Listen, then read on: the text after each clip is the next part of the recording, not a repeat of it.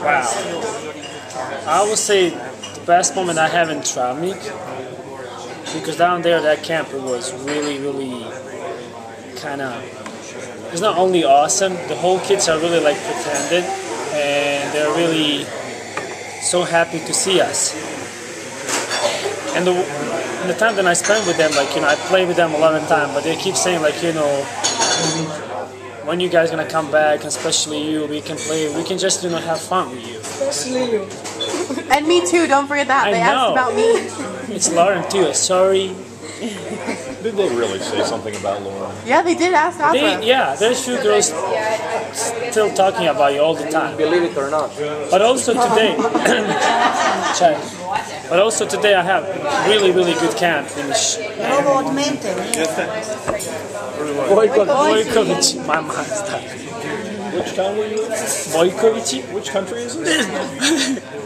East Sarajevo. and uh, and since I started working with you guys, I have really actually I get really good experience with the kids, and I really loving to work with the kids.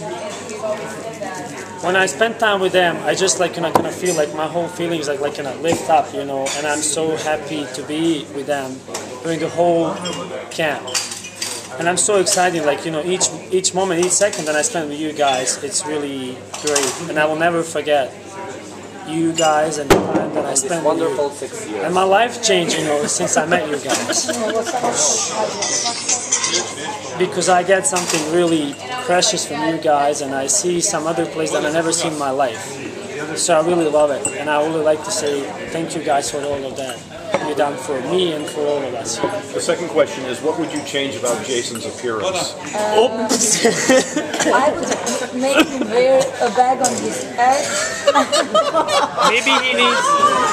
You would what, Yasna? No, th- that wasn't me, Jason. We were just trying. That was that was your evil sister, right?